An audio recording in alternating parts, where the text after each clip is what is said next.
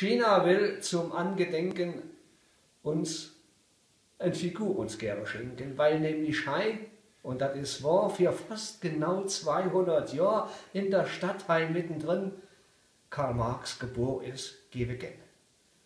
Die Stadtrat hat, zwar nicht vollkommen, gern das Geschenkler angenommen, doch weil die ganze Marx-Figur riesengroß wäre von Struktur und ganz aus Bronze und nicht aus Kit, wüsste man nicht wohin damit.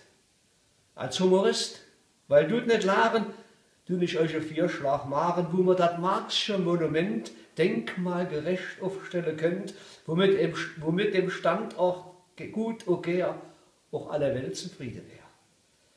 Stellt doch das Iber große Pipschi oben auf den Franzens Knipschi. Da steht die Statue wunderschön, kann runter auf uns Trier sehen, o ganz Trier, lang o breit, dem Charlie dann so fiese Leid. Und hey, tagtäglich ohne Gallien, grüßt die Marie Säul, Epalien.